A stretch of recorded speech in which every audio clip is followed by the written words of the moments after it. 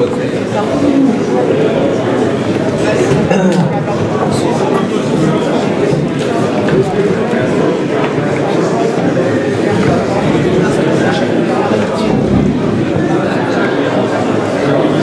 moi je vais vous parler de quelque chose de beaucoup plus national, voire d'international, je vais vous parler de Monte Cristo. C'est insupportable. Je vais vous parler de Monte Cristo parce que cette histoire est, issue d'un fait divers réel. Et comme on parle de fait divers, euh, je vais vous en raconter un particulièrement crapuleux euh, qui a servi de base à Alexandre Dumas. Et donc c'est de ça dont je vais vous parler. Alors si vous voulez bien, on va commencer direct. Avec cette vue du château d'If, euh, tous les jours vous pouvez aller faire un tour au château d'If. Tous les jours il y a des bateaux qui partent pour le château d'If. C'est à quelques encablures de Marseille. Euh, la, traversée dure pas très longtemps et quand vous allez sur place, les, guides vous accueillent et chaque fois c'est la même chose. Tout le monde y va pour y voir plein de choses. C'est ça depuis le 19e siècle. Un jour de 1842, il y a un type qui est allé se promener. C'est ce garçon-là. C'est une époque où on ne reconnaît pas les auteurs à leurs photos ou au bruit qu'ils font dans les salles. On les reconnaît, euh, on les reconnaît pas euh, à la manière de, de, signer des autographes ou leurs livres.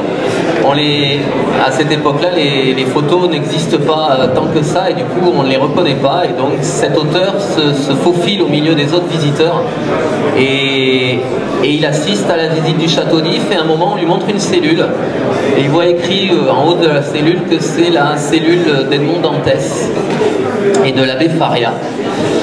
Et on lui montre à l'intérieur de la cellule le trou par lequel Edmond Dantès a réussi à communiquer avec l'abbé Faria et pouvoir s'évader.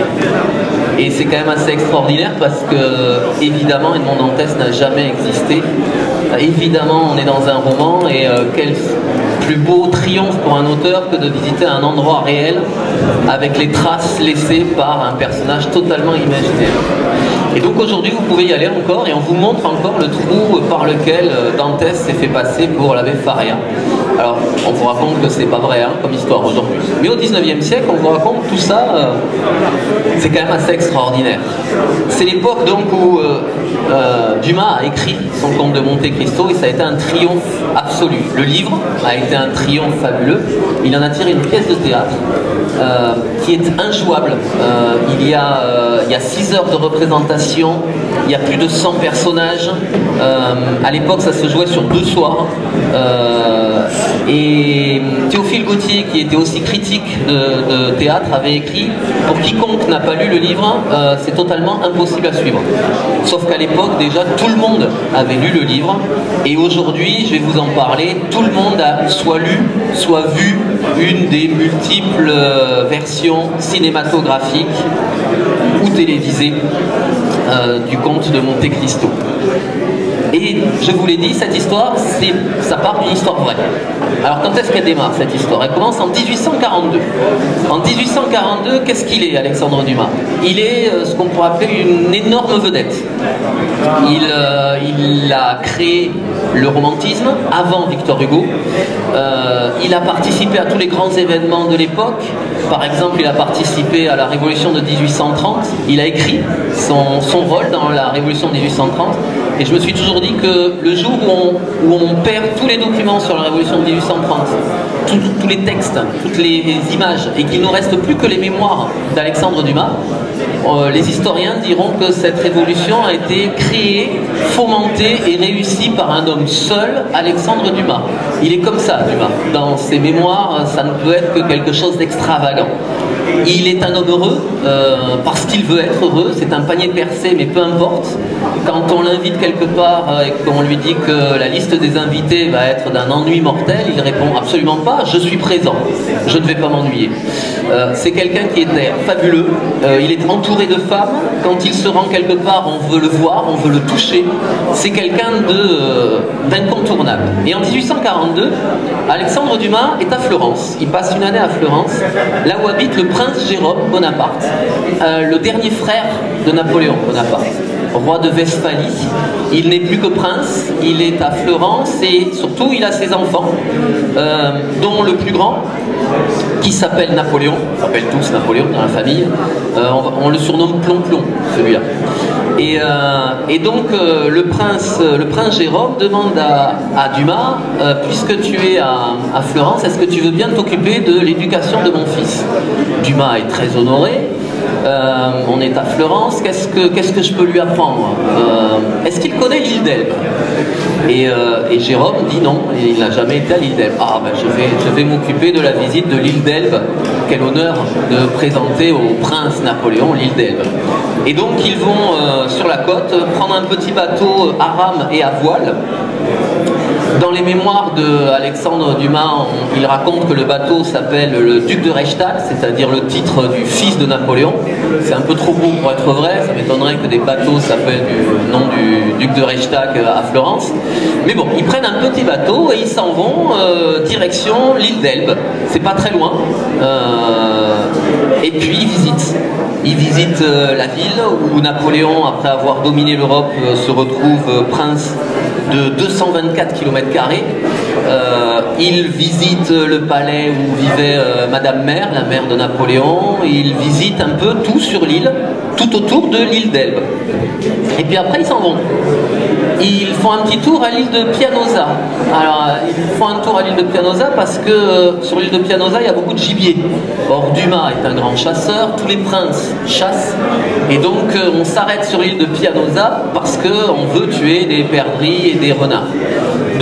Fois euh, passé le temps euh, sur Pianosa, on continue et on voit une autre île.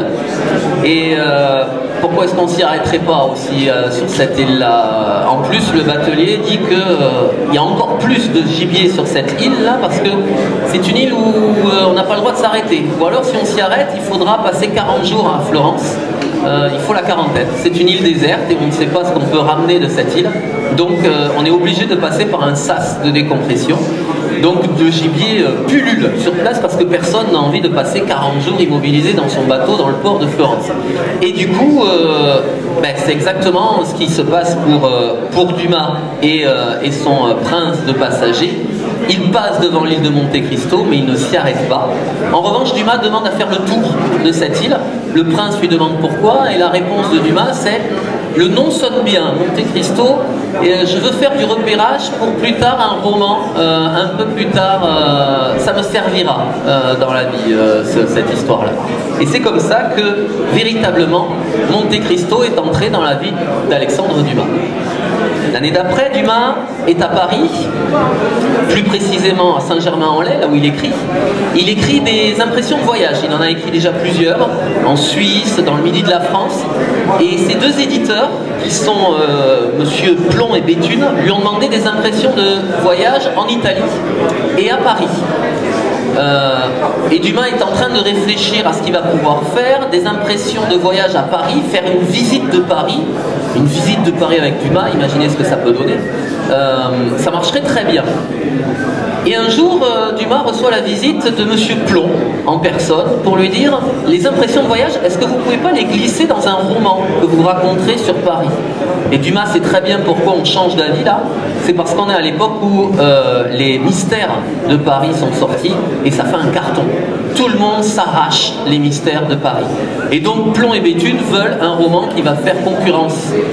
alors on demande à Dumas d'écrire son voyage Paris à l'intérieur d'un roman. Et Dumas dit bah, pourquoi pas Je signe. C'est parti. On va essayer de concurrencer Eugène Sue.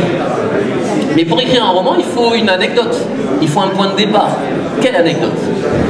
Alors l'anecdote, il se souvient avoir lu les mémoires d'un archiviste de la police, c'est pour ça que je suis là aujourd'hui. Euh, il a euh, lu euh, le récit d'un certain Jacques Pechet, qui était donc archiviste de la police à Paris et qui a raconté grosso modo les affaires les plus intéressantes qu'il a vues du temps où il était à la préfecture de police. Et Dumas une de ces affaires et il a corné la page. Euh, l'affaire en question, ça s'appelle Le diamant et la vengeance. Et donc il a, il a commencé à lire, à lire cette histoire. Et quand il a eu fini de lire cette histoire, il a dit à son, euh, à son adjoint, cette histoire est complètement idiote. Mais bon, on ne sait jamais. Et il a corné la page. Et là, maintenant que Béthune et Plomb lui demandent l'anecdote, il repense à cette histoire-là. Alors vous allez juger avec moi pour savoir si cette histoire est complètement idiote ou pas? Elle raconte une histoire qui se passe en 1807, à l'époque où Napoléon est euh, à son zénith. Euh, il y a à Paris un petit estaminet où des Nîmois se retrouvent. Il y a là le, tenancier du bar euh, qui s'appelle Mathieu Loupian. Et puis il y a quatre autres Nîmois qui sont là. Il y a un certain Solari, un certain Chaubard, un certain Alu, et il y a un certain euh, François Picot. Alors on va s'arrêter deux secondes sur François Picot parce que euh, c'est un homme qui est particulièrement heureux en 1807. Il doit se marier. Il va se marier avec une certaine Thérèse. Dont tout le monde est amoureux, et notamment Loupian, le tenancier du bar. Et alors lui, il en est amoureux pour une raison simple, c'est que Thérèse a une dot assez impressionnante, et Loupian ne rêve que d'une chose, laisser tomber son petit estaminet et ouvrir un grand café sur les boulevards à Paris. Et donc, euh, certes, euh, Thérèse est jolie, mais si en plus euh, son côté riche peut l'arranger, ben voilà, ça va être deux, affaires sur une. Voilà, Thérèse n'a pas choisi Loupian, elle a choisi François Picot. Alors les Nîmois, une fois qu'ils sont au courant de cette histoire-là, se réunissent et se disent ce serait sympa si on faisait une petite blague à François Picot. On fait souvent des blagues entre nous. On n'en fait pas très souvent à Picot parce qu'on sait qu'il a mauvais caractère. Mais là, on pourrait essayer de retarder un tout petit peu sa noce. Elle est prévue pour la semaine prochaine. On pourrait faire croire à la police, qui est euh, crédule parfois, euh, que François Picot est un agent de l'Angleterre. Euh, on pourrait faire croire que François Picot, en 1807, est un agent de la Vendée, euh, quelqu'un qui commence à remuer un petit peu euh, des troubles en France. Il va être arrêté, il n'y aura aucune preuve, et on le relâchera au bout de 48 heures. On aura retardé la noce de quelque temps, ça va faire rire tout le monde. Et effectivement, Chaubard, Solari, trouve ça amusant. Pas Alu. Alu, il, connaît le caractère euh, de Picot. Moi, j'en suis pas de cette affaire-là. Et il s'en va. Les deux autres restent et sont très contents de jouer ce tour imaginé par, euh, par le cabaretier Mathieu Loupian. Et c'est très exactement ce qui se passe. Au matin, alors que la police est sur les dents à cause des affaires de Vendée, on vient arrêter François Picot. L'Empire en 1807, euh, on est l'époque où euh, Napoléon est en train de solidifier euh, les acquis de la Révolution, mais pour assurer son pouvoir personnel, il y a certains acquis de la Révolution qu'il met un peu de côté. Par exemple, au niveau de la police et de la justice, les droits acquis par les citoyens pendant la Révolution française sont mis entre parenthèses. les droits concernant le citoyen justiciable, les droits concernant les lettres de cachet qui existait sous l'Ancien Régime qui n'existe plus. C'est vrai que ça n'existe plus, mais il n'empêche que Napoléon peut signer un texte et envoyer quelqu'un immédiatement en prison pour le temps qu'il désire. Ça s'appelle pas une lettre de cachet, mais c'est une lettre de cachet. Et c'est ce qui se passe pour, euh, pour François Picot. Picot se voit arrêté, on ne lui dit pas pourquoi il est arrêté, et le voilà conduit en prison, et il va y passer 7 ans en prison il est envoyé à la prison de Fenestrelle euh, dans, les, euh, Alpes. Euh, la plaisanterie tourne un petit peu court pour lui, d'autant qu'il ne comprend absolument pas ce qui lui arrive. Il y passe 7 ans. En 1814, Napoléon perd. Il abdique. Et donc on libère tous les prisonniers politiques. On libère François Picot, qui revient immédiatement à Paris pour essayer de comprendre ce qui lui est arrivé. Il arrive et il voit qu'à l'adresse du petit estaminet, il n'y a plus rien. Alors il demande aux voisins, et les voisins racontent que, ah oui, là autrefois, il y avait effectivement un petit bar, euh, mais ils ont déménagé, hein. ils se sont installés euh, sur les boulevards maintenant, ils ont un grand estaminet maintenant, un très très bel hôtel. Euh, quelque chose avec du verre au, mur, des lampadaires au plafond. Pourquoi vous dites ils ont déménagé Ah, bah parce que, parce que Mathieu Loupian s'est marié. Une Thérèse qui était là et qui était fiancée, qui devait faire un mariage. Elle a attendu pendant deux ans son fiancé qui a disparu, qui s'est peut-être engagé. Elle a attendu deux ans, c'est beau. Et puis au bout de deux ans, euh, elle a cédé aux avances de Mathieu Loupian. Et donc maintenant, tous les deux tiennent un café sur les boulevards. Très bien, très très bien. Et il n'y avait pas d'autres gens qui tournaient autour. Ah, si, si, il y, avait d'autres personnes autour. Ils continuent à y aller. Hein. Sauf un, il y en a un qui vient plus, un certain Alu. Euh, quasiment au même moment, euh, il a disparu aussi, mais lui, on sait où il est allé. Il est retourné à Nîmes. Euh, parce qu'apparemment, il y avait une histoire. ils se sont fâchés sur, sur une affaire. Très bien, dit l'homme qui a énormément vieilli après avoir passé 7 ans en prison. Et il prend une diligence et il se rend à Nîmes pour aller voir Ali. Pour tous ceux qui connaissent Alexandre Dumas, vous retrouvez des éléments.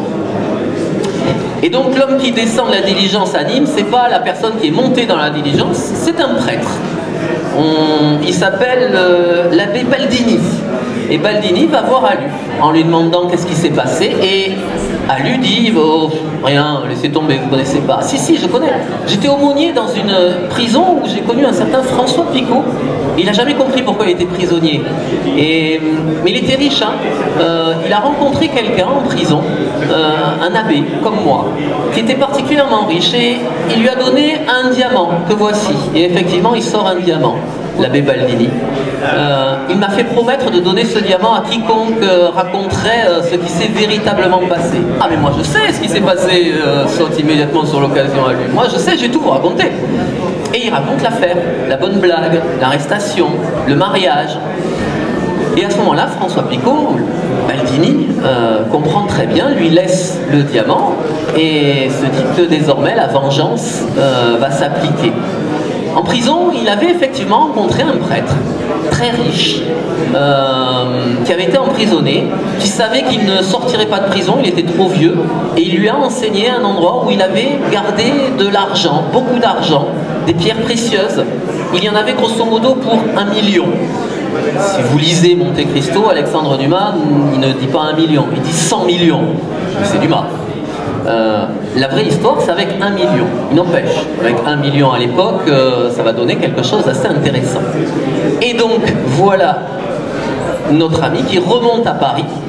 Et il se regarde dans une glace, il a vu que personne ne pourra le reconnaître. Sept ans de prison, euh, ça change un homme. Et il va se faire engager comme garçon auprès de Mathieu Loupian c'est le garçon le plus modèle qu'on ait jamais trouvé dans toute l'histoire de la restauration. Euh, il ne compte pas ses heures, euh, il est prêt à tout faire. Euh, il sert fabuleusement bien la famille Lupian, qui ne reconnaît absolument pas Prosper. Il s'appelle Prosper, le garçon en question. Thérèse a bien, a bien eu un petit sentiment à un moment de connaître ce, type-là, mais, mais non, c'est pas possible. Vu l'histoire qu'il a racontée, l'endroit d'où il venait, non, non, c'est pas possible. Elle ne connaît pas, pas Prosper. Elle l'apprécie beaucoup, mais elle ne le connaît absolument pas. Et tout va bien dans le meilleur des mondes. Et puis Prosper sert tous les gens qui viennent là euh, boire un coup, plus ou moins bruyamment, dans le dans. Euh, et puis euh, et puis parmi les gens qui viennent boire un coup, il y a un certain Chobard, il y a un certain Solari qui viennent, qui ne reconnaissent pas Prosper non plus, ils servent. Puis un jour, c'est assez surprenant parce que il y en a un qui, qui ne revient pas. Euh, un soir, euh, Chobard disparaît d'un coup. Le lendemain, on retrouvera son cadavre sur le pont des Arts à Paris. Et sur son cadavre, il y aura un petit parchemin avec écrit numéro 1. Le lendemain, le chien euh, du tenancier du, du, café meurt. C'était un chien particulièrement beau qui avait été ramené d'une campagne militaire et le chien a été empoisonné. Trois jours plus tard, euh, on apprend que la fille de Loupian doit se marier. Euh, elle doit se marier même assez rapidement parce que visiblement euh, son ventre s'arrondit un peu trop au goût des parents qui ont une fille qui n'est pas mariée. Alors on va essayer de presser un petit peu tout ça. C'est qui est le, repère C'est quelqu'un qui est très bien vu. Il est prince en Italie. Ah, alors, si c'est un prince en Italie, on va arranger tranquillement le mariage, ça va se faire sans aucun problème. On réunit euh, tout le monde, euh, la noce est prête, tout le monde est là, sauf le mari. Il a été arrêté euh, le matin parce qu'en fait, le prince ce n'est pas du tout un prince, c'est un forçat évadé qui essaye de faire des arnaques au mariage en essayant de récupérer des dots. Ça fait la cinquième fois qu'il tente de se marier. là, ça y est, il a été repéré, arrêté et envoyé définitivement au bagne à Cayenne. Encore quelques temps, et puis euh, Solari vient boire un coup et euh, Solari euh, se plaint d'un coup du mal de ventre. Et le lendemain, on le trouvera chez lui, allongé sur son lit, avec un petit parchemin. Numéro 2. Ce qui est surprenant, c'est que personne n'ait fait, euh, le lien euh, dans toute cette histoire. Mais bon, il y a tellement d'autres histoires qui se passent, cette histoire de mariage, cette histoire de chien. En plus, trois jours après, le café de Loupian brûle.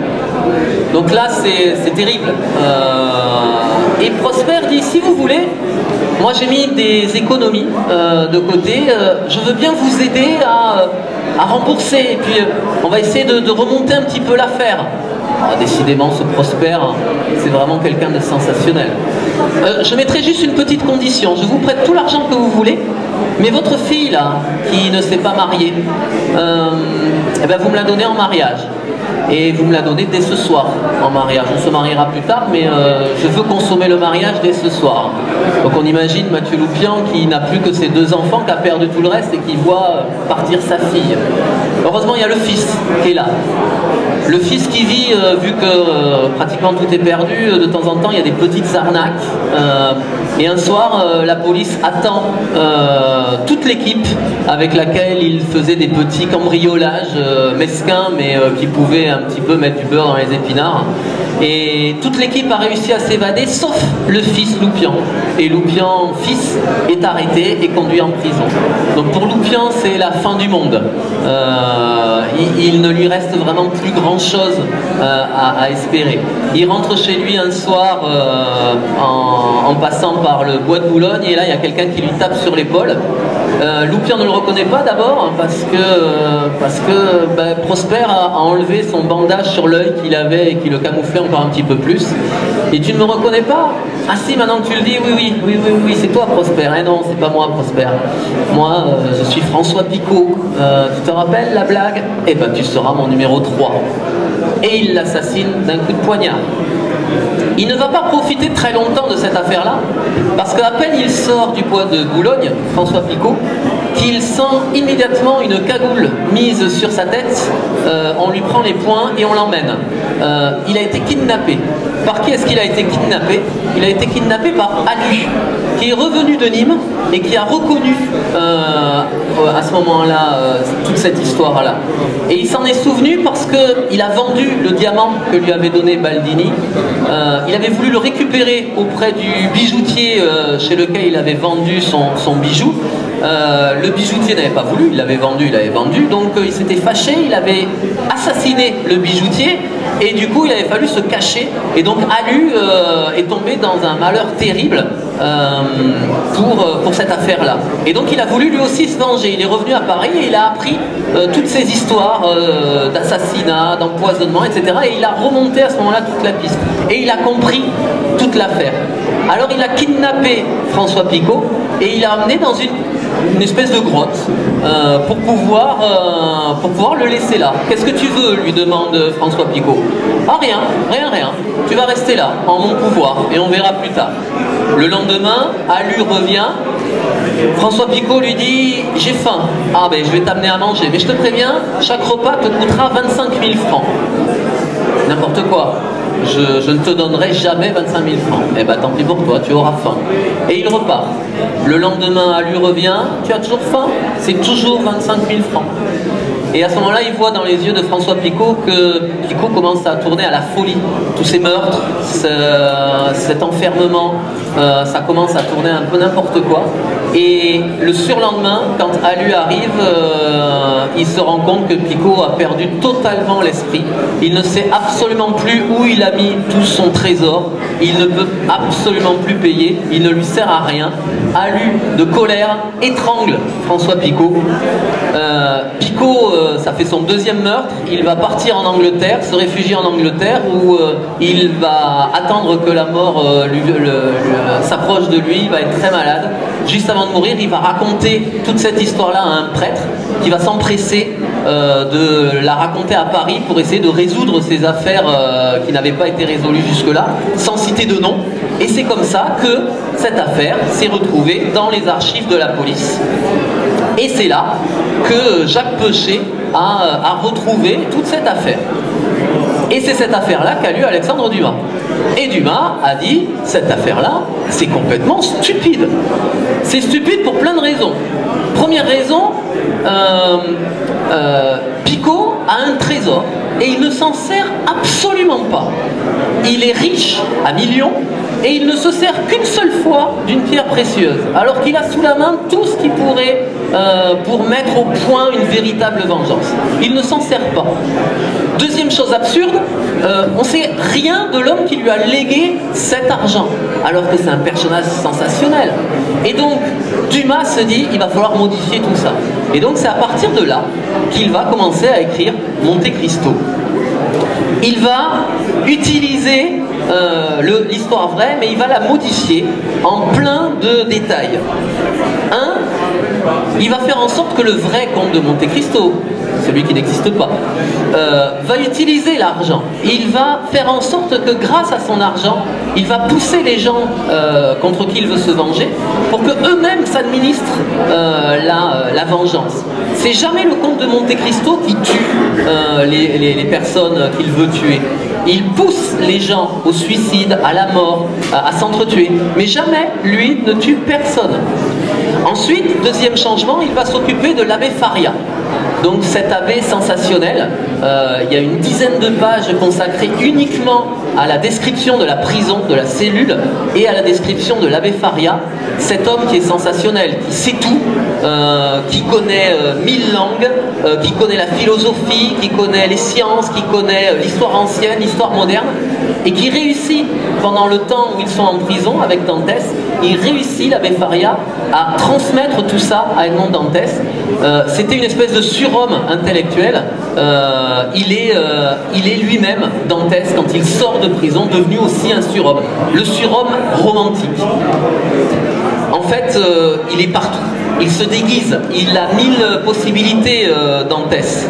Euh, il est redouté, redoutable il réussit à joindre à la nage l'île de Monte Cristo, puisque c'est là qu'est caché le fameux trésor. Et il va utiliser ce trésor pour pouvoir administrer sa vengeance.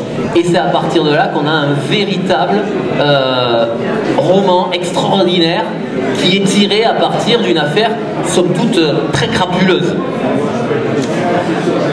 toute cette explication. Et je vous ai raconté au début euh, comment Dumas a réussi à connaître l'histoire de l'île de Monte Cristo. Et quand il a écrit euh, une dizaine d'années plus tard euh, un récit Dumas concernant la genèse de Monte Cristo, il a raconté cette histoire rapidement, beaucoup plus rapidement que moi, euh, et euh, il, ne se cache pas qu'il a utilisé une anecdote tirée des archives de la police. Hein. Euh, et il dit à la fin de son paragraphe, qui est intitulé État civil de Monte Cristo, il écrit la dernière phrase de son, de son chapitre, c'est et maintenant, libre à, chacun de chercher au comte de Monte Cristo une autre source que celle que j'indique ici. Mais bien malin qui la trouvera véritablement. Cher Alexandre Dumas, il s'y entend au niveau suspense. Il raconte la genèse d'un roman et la dernière phrase c'est Tout ce que je vous ai dit n'est peut-être pas la véritable genèse d'un roman. Bien malin qui trouvera la véritable histoire. Alors que voulez-vous, quand on adore Dumas, et c'est normal qu'on adore Dumas, et qu'on est un peu historien et qu'on lit ce genre de phrases, évidemment qu'on va chercher, bien évidemment qu'on va creuser tout ce qu'on peut creuser pour avoir une autre explication. Alors cette autre explication, elle a été trouvée par un généalogiste qui s'appelle euh, euh, Gilles Henry, qui a travaillé sur la généalogie d'Alexandre Dumas. Alexandre Dumas, vous le savez, euh, descend de personnes qui étaient à Saint-Domingue, dans les Antilles. il descend du général Dumas, général pendant la Révolution française, général noir. La Révolution française avait fait en sorte que tout le monde dans sa giberne avait son bâton de maréchal.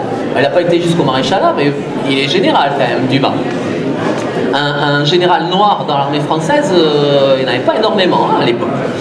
Euh, alors, le général Dumas, lui, il descend d'une famille qui s'appelle David la Pailletterie, une famille noble, une famille normande, qui s'était installée euh, sous Louis XV aux Antilles pour pouvoir faire fortune dans les plantations. Ils avaient plusieurs esclaves, hommes, femmes, enfants, et un des deux frères, Alexandre, David de la pailletterie, s'était fâché avec son frère et avait quitté la plantation. Et il était parti avec une esclave noire qu'il trouvait fort à son goût. Il l'a trouvée tellement forte à son goût qu'ils ont eu ensemble quatre enfants. Il y a euh, euh, Adolphe, un garçon, Jeannette, Marie-Rose et Thomas Alexandre, un autre garçon, deux garçons, deux filles. L'esclave noire en question euh, porte le nom de Marie Cécette du Ma, en deux mots, c'est-à-dire qu'elle vient de la maison. Elle était esclave non pas à travailler dans les champs, elle travaillait dans la maison. Du Ma, ça vient de là.